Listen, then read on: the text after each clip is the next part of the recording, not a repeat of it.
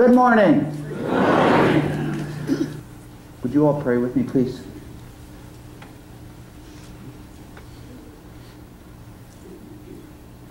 Lord, we live by grace. Father, we thank you that you selected those of us who have trusted alone in Christ alone. You selected us before you set the foundations of the earth. You not only selected us, you have blessed us with every spiritual blessing.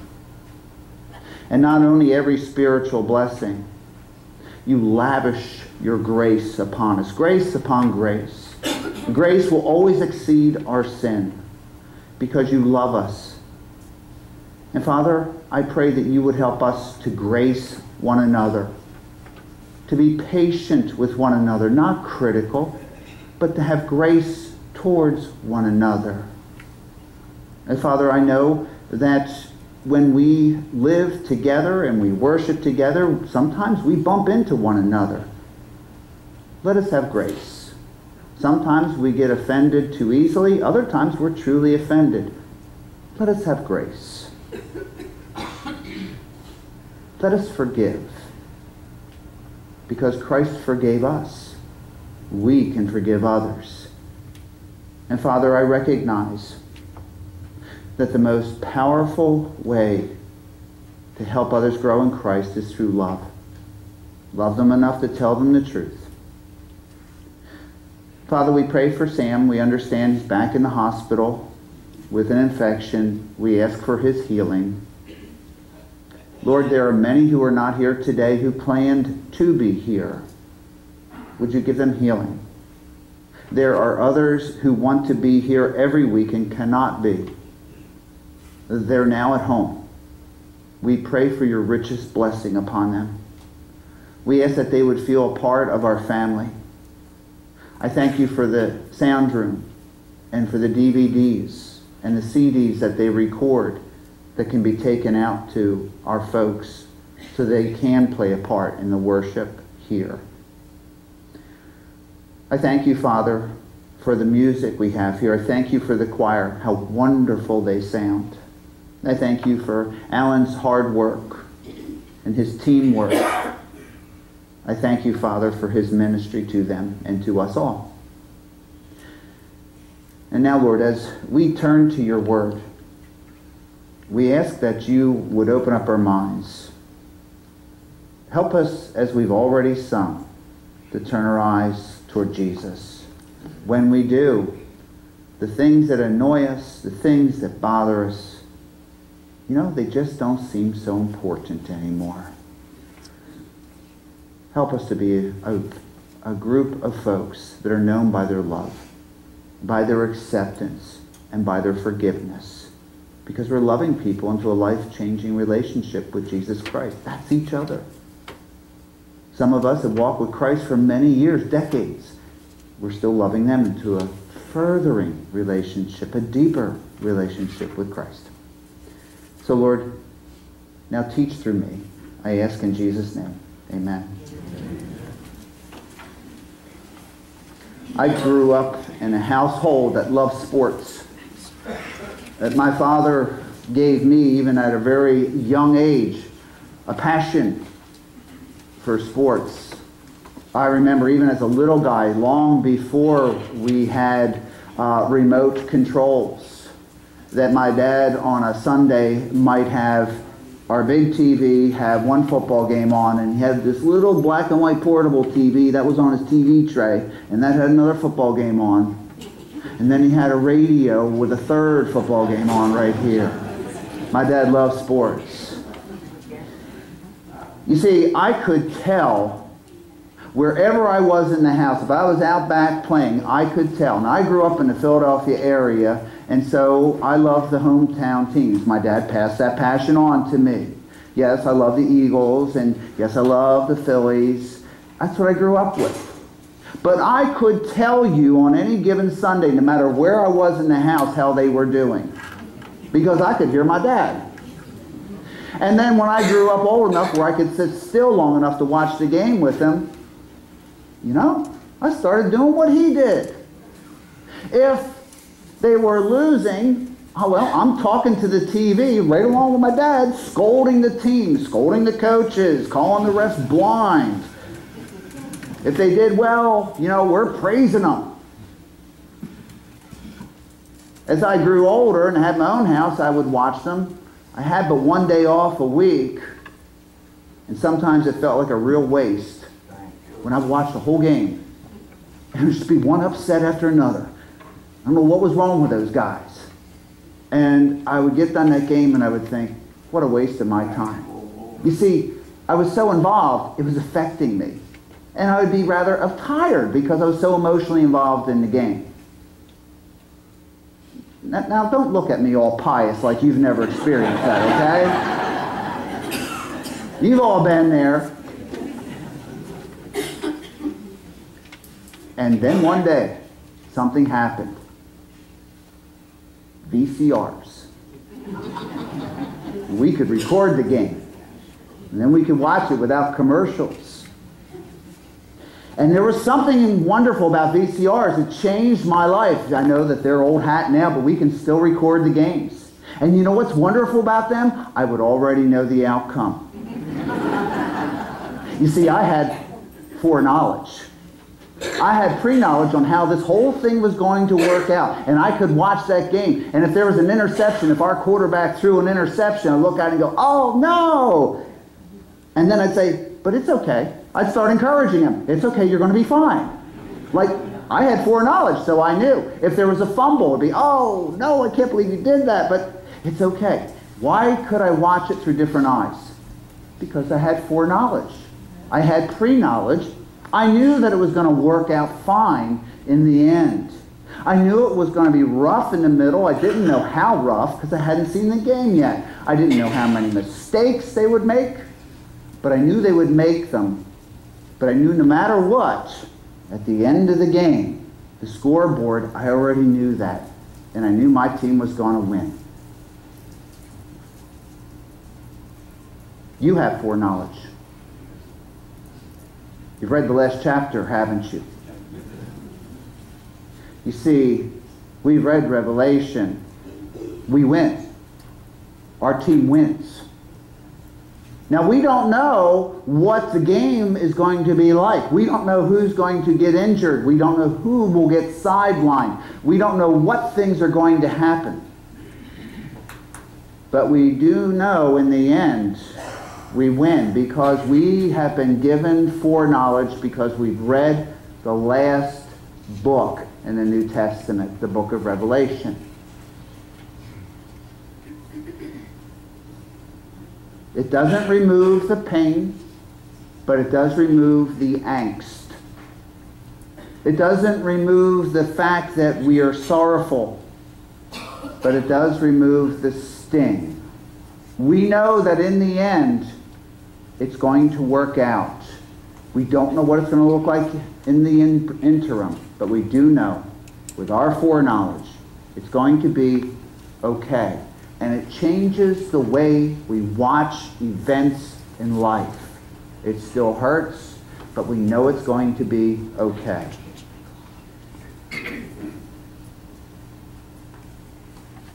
The subject of this morning's message is through thick and thin, good times and bad. God is still on his throne. And God will guide everything to his desired end. And God will play and he will score the finishing winning touchdown. And he's on his throne and he's still changing things in life when we look to our coach and ask him. He's still in control. Would you please turn in your Bibles to the book of Ephesians in the New Testament? You'll remember that it's Galatians, Ephesians, Philippians, Colossians, and then all the T's. 1 Timothy, 2 Timothy, 1 Thessalonians, 2, well, 1 and 2 Thessalonians, 1 and 2 Timothy. But if you would turn to Ephesians chapter 3. Ephesians chapter 3, verse 1. We're going to go through this in three steps. The mystery revealed, the ministry given, and then what it means to me. First, the mystery revealed. In verses 1 to 7, let me read them for you. Ephesians chapter 1, or chapter 3, verses 1 through 7. For this reason, I, Paul, the prisoner of Christ Jesus, for the sake of you Gentiles, dash. Did you notice? There's a dash there.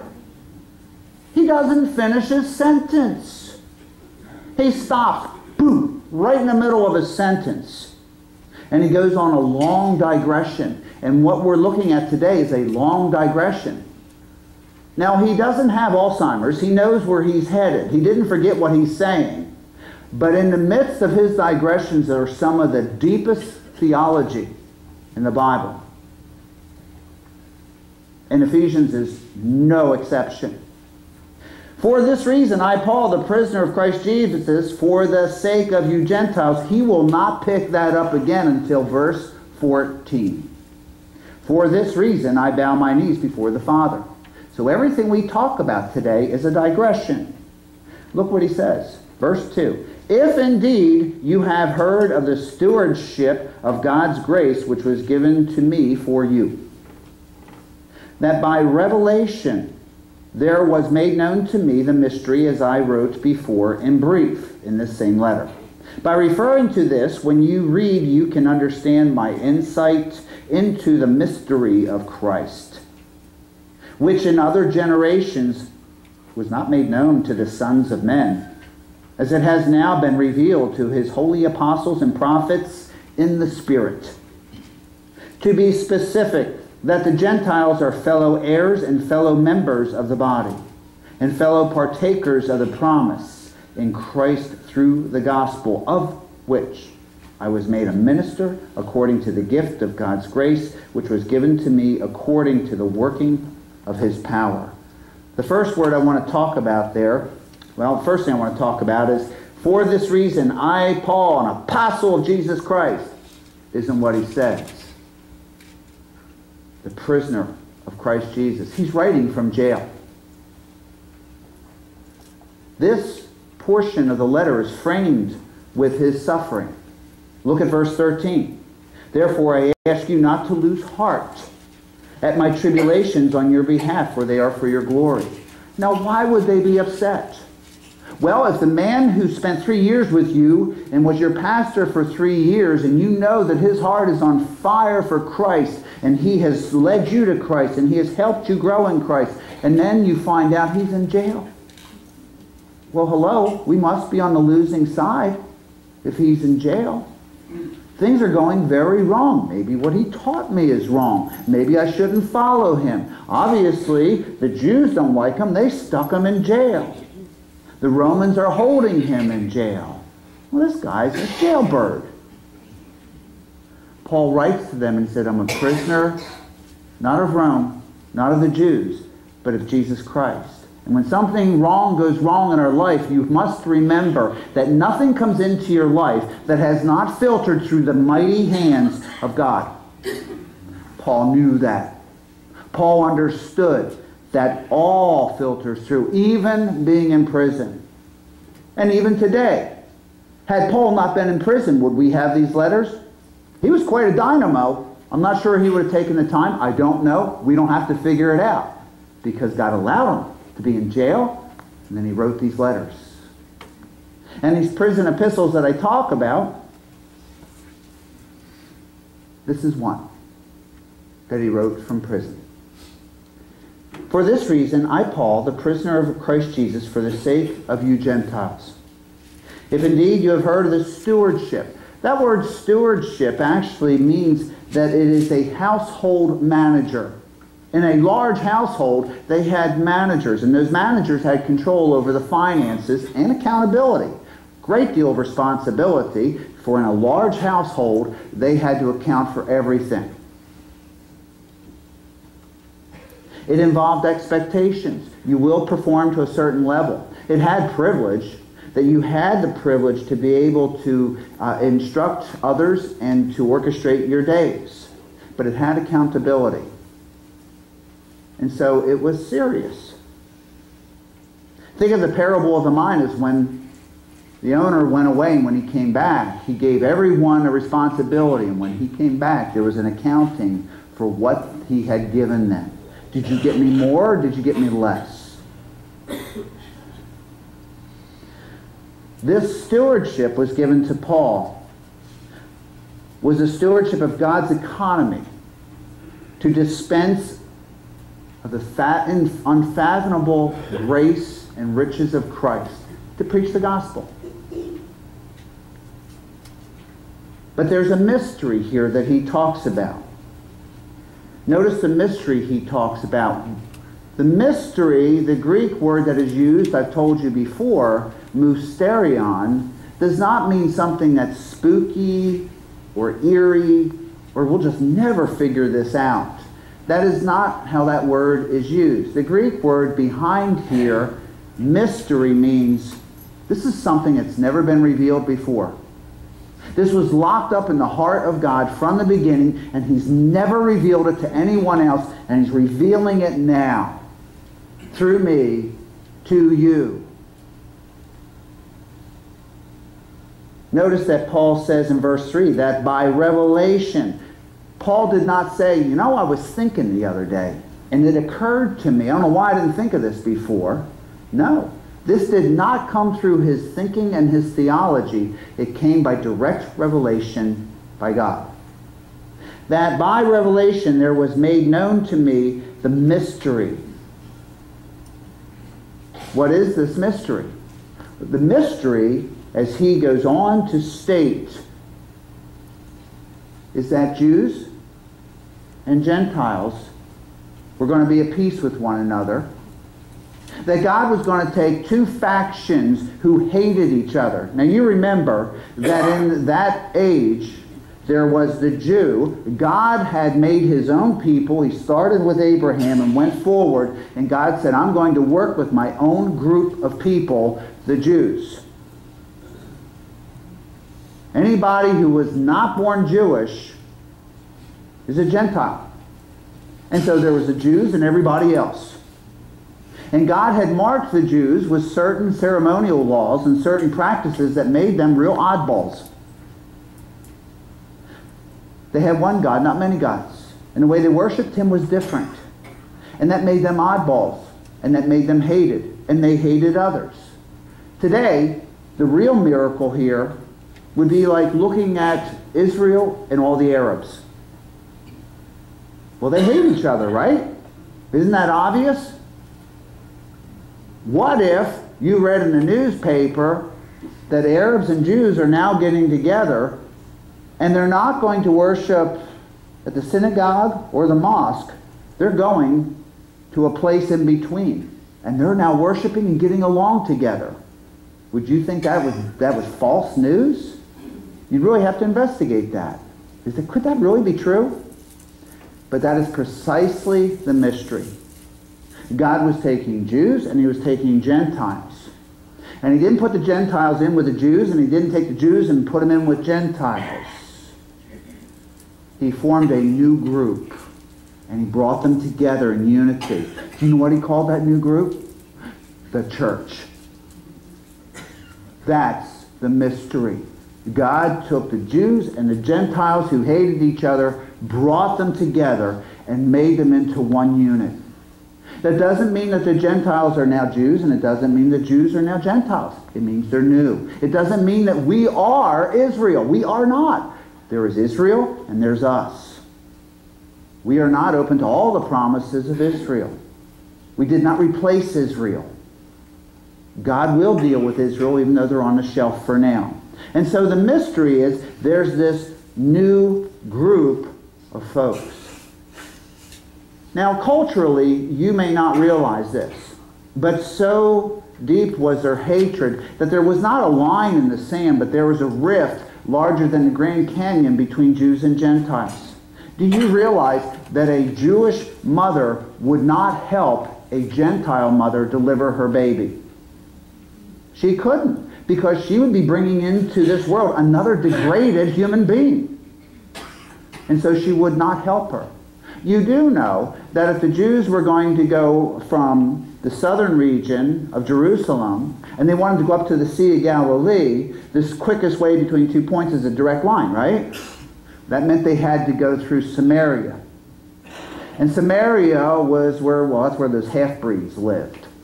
Half Jewish, half Gentile. And so they didn't go through that land. They went 150 miles walking out of their way to go around Samaria. That's how much they hated the Gentiles. There was hatred. And yet God was bringing the two together in a new unit called the church that has not been told in the Old Testament. It was not revealed in the Old Testament. It wasn't revealed until the New Testament with Paul.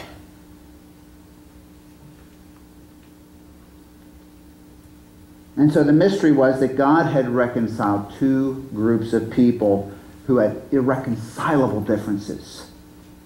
But all things are possible with God. Amen? The ministry given by God. Look at verse 8. To me.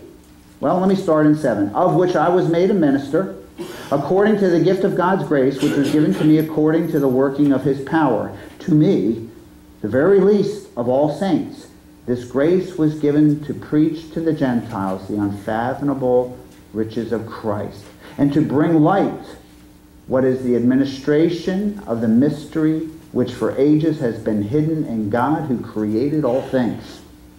Verse 10 So that the manifold wisdom of God might now be made known through the church to the rulers and the authorities in the heavenly places.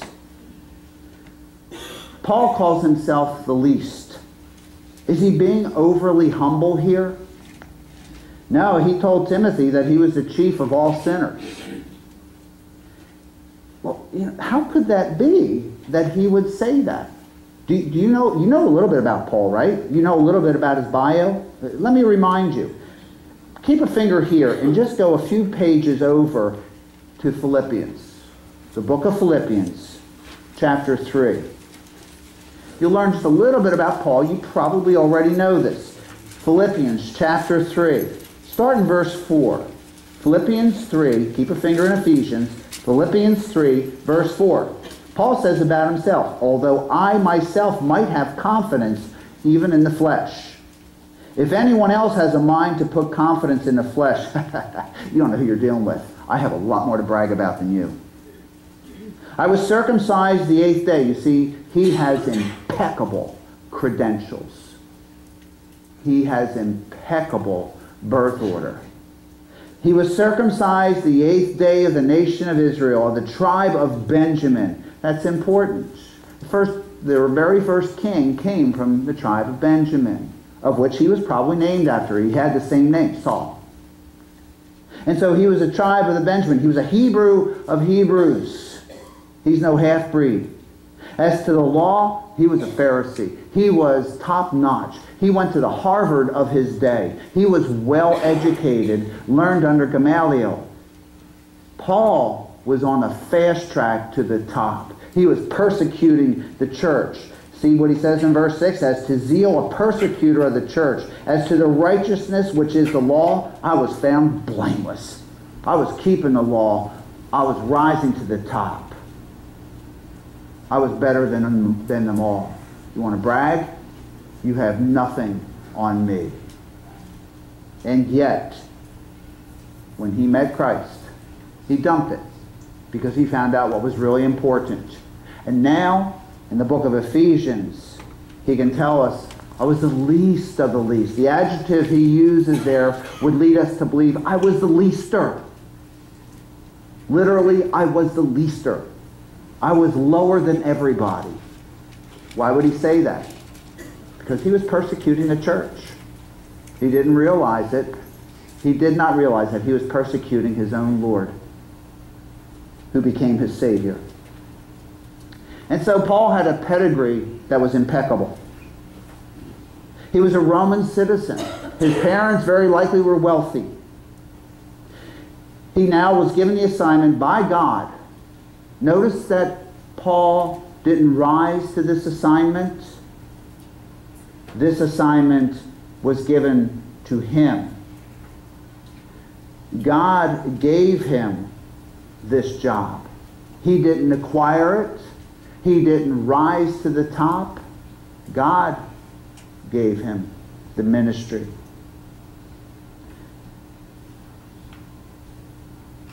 It is this administration or dispensation that we would call the dispensation of grace that God gave to Paul.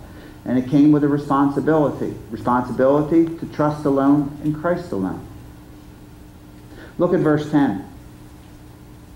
This was done so that, for this purpose, that the manifold, the word there would mean multicolored, the, the manifold wisdom of God might now be known through the church to the rulers. Isn't that interesting? To the rulers. You see, we want God to change our culture.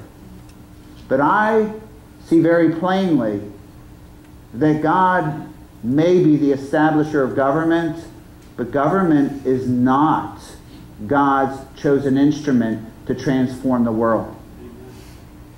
Never was. You know what is? The church.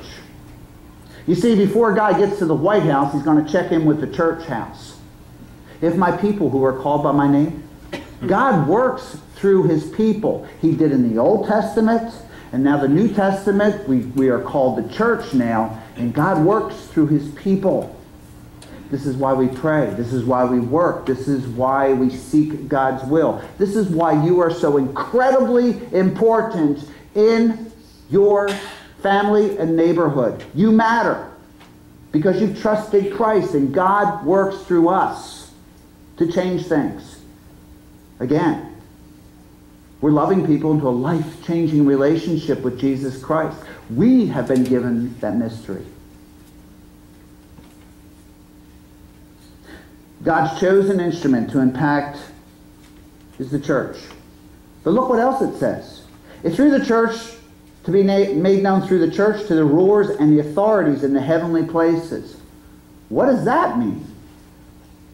If Paul uses that same term in Ephesians 6:12 where he says for our struggle is not against flesh and blood but against the rulers against the powers against the world forces of this darkness against the spiritual forces of wickedness in the heavenly places.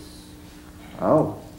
So even the demons watch the church to see God's manifold wisdom, but not just the wicked angels, the good angels as well are also watching. Listen to what Peter says. Um, you don't have to go there, but First Peter chapter 1 verse 12, you can write that down. 1 Peter 1:12 It was revealed to them that they were not serving themselves but you in these things which now have been announced to you through those who preach the gospel to you by the Holy Spirit sent from heaven. Things into which angels long to look.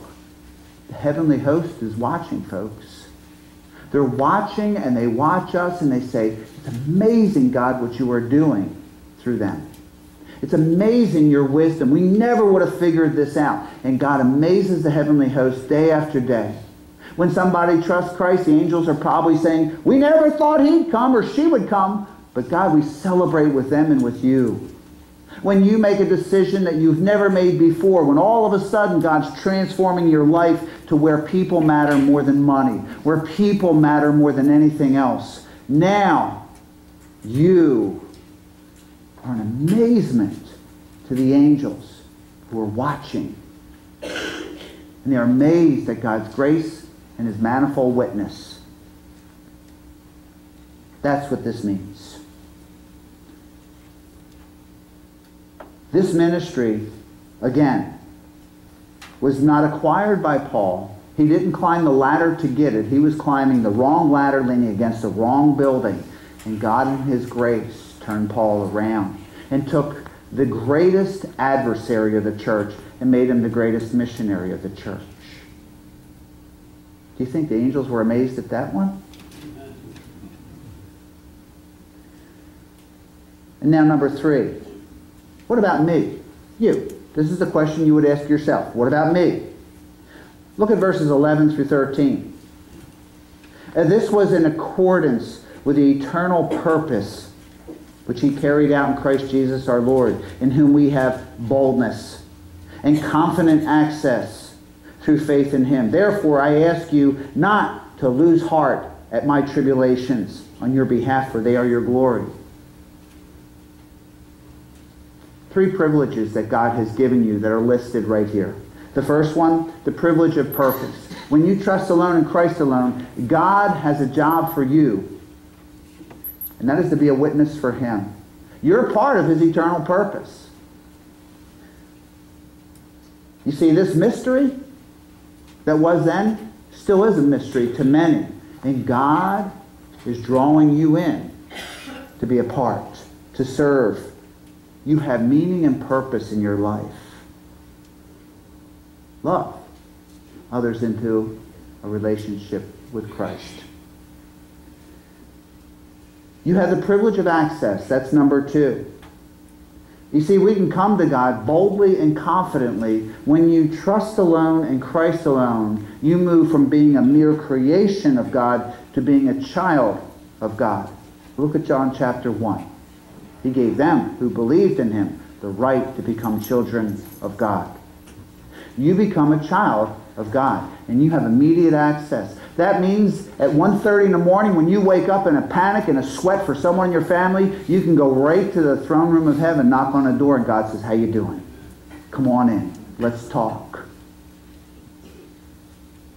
24-7 access to God. We have that privilege. That privilege of access, we say, some say, well, prayer is talking to God. That's true. But more importantly, and I think more accurately, praying is asking. Asking. You look in the New Testament, you look throughout that and the Old Testament. Asking, always asking, always asking. Well, can I ask for anything? Sure, you can ask for anything. You may not get it. Jesus said in John 16, 24, it's for God's glory. When you ask for something that God's going to get the glory out of, you bet He's going to answer. Because it's what's best for you. It's what's best for the people you pray for. And the third privilege is to suffer.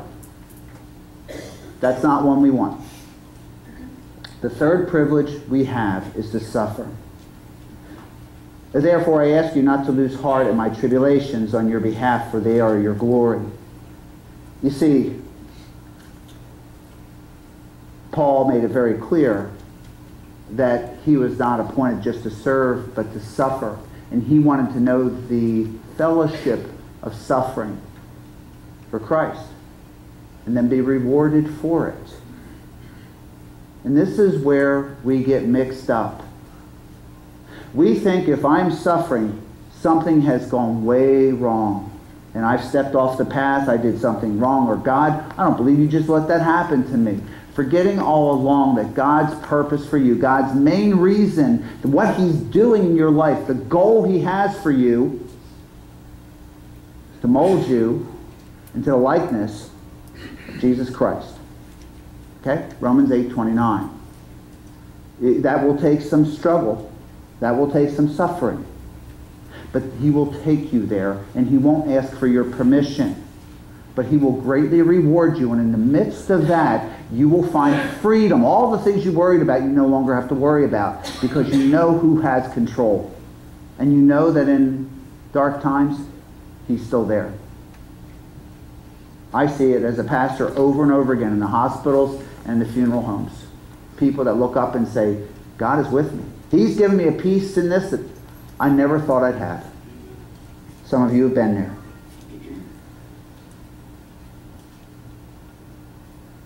You see, Paul did not want them to lose heart, and I don't want you to lose heart. God has given you purpose in your life. He's revealed a mystery to you. I hear people say all the time, I just don't understand how so-and-so can't understand the gospel. It's so simple. Maybe you haven't understood the gospel. Do you understand that Everyone born into this world is headed on a fast track to hell. Uh, not my words, God's words. But God sent his son. This is the main reason Jesus came, was to seek and save that which was lost. You see, Jesus paid for your sins. All of them. past, present, and future. And he's asking you, will you trust me? Come to Christ. Ask him to save you. And he will. For those of us who have, we have been conscripted into God's army because God works through us to reveal this mystery. How are you doing with that? When was the last time you shared the love of Christ with a neighbor? You, a friend, a family member. It's God's will. God wants you to know the joy of sharing life's greatest gift with other people. And He's chosen the church. He's entrusted the mystery to you. Are you sharing it? Are you making sure it's not a secret? Now, people may reject you and say, I don't want to do that. Is that a failure? No. You're called a witness. Witnesses tell what they know. God holds us responsible for contact, not conversion. You see, it's guilt free. He wants you to tell. He'll do the converting. That's not your job. Second application is the ministry. Do you understand how God spells faith? Think about it. How does God spell faith? I'll spell it for you. F, as in Frank, E, E, T, in Tom. Feet. You can say all day long, and I can say all day long, I believe, I believe, I believe. And God said, yeah, but your feet are still right there. You're not moving. Do you trust me enough to actually act on what you know? God judges our true faith by our feet. Are you moving? Are you working? Are you trusting God enough to move forward with your feet? Jesus has given us the authority to do so. All authority has been given to me in heaven and earth. Go, make disciples, lead others to me.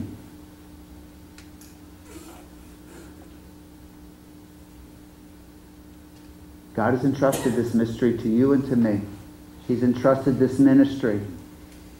It's almost like putting five gold bars into the hands of a baby. What are they going to do with that? But God has entrusted to us great wealth. We can do it. You can do it, and I can do it. Because we have the Spirit of God inside of us saying, Go get him. Go get him. I've already won the game. You just go. Let's pray. Father, our desire is to be pleasing to you. I pray you seal these words to our hearts that you be glorified. And Father, there are folks in our lives that we pray for right now. Give us boldness to share Christ and the love of Christ with them. We ask in Jesus' name. Amen. And let me pray for you all. Father, we came to worship you this morning. And now I pray that we leave changed and changing because we felt your presence. We felt it through each other as the Spirit reaches out to encourage each other. We felt it through the music. We responded through giving. We feel it through your word as your word comes to dwell in us permanently. Now, God, seal your word to our hearts that we would not be discouraged, but be encouraged because we know what the end is. We've read the last chapter. And so we have foreknowledge. And we understand that our future is very bright, bright indeed. And now, Lord, I pray for those who have trusted you, who are struggling, give them peace. For those who refuse to trust you and have not trusted you yet, do not give them rest until they do. Make them miserable until they find the Prince of Peace. Never will they know peace until they know you. And that's what we want for all. We want for them to know you so that they know true peace. We say it and pray it because we love them. And now, Lord, have your way. In Jesus' name, amen.